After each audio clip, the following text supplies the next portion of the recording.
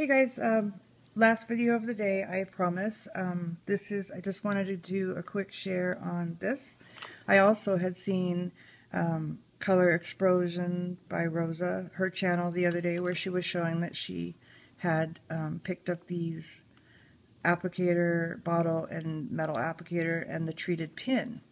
Anyway, I had, um, after I saw hers, I was like, well, that's what I've been looking for. So I went over to the website and this is the website right here that she got them from and was trying to order up a couple but I was having trouble getting things into my cart. So not only did the um, the lady that runs this website her name is I believe it's Barbara Pollitt P-O-L-L-I-T-T not only did she contact Zibbet for me and let them know that I was having that trouble but she also um, you know sent an email and got it got it all worked out and just was able to just send me an invoice because was it because I still couldn't seem to get get the amount that I wanted into my cart. So she took care of it. She hooked me up, and um, I just want to say these are awesome.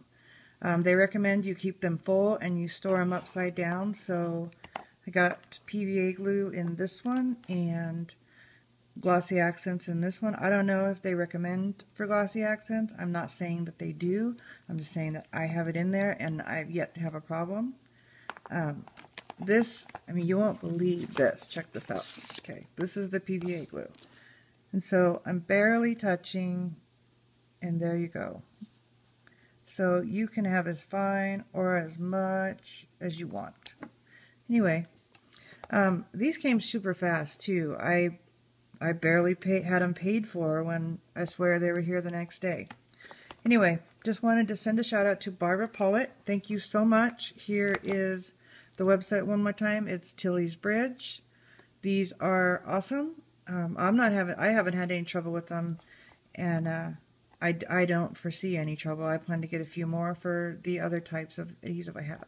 So, that's that. And then, like I said, I just wanted to say thank you, Barb. Thank you for um, taking care of that for me. Thank you for hooking uh, me up, and I will place another order with you soon. All right, guys, thanks a lot. Have a great day. Bye.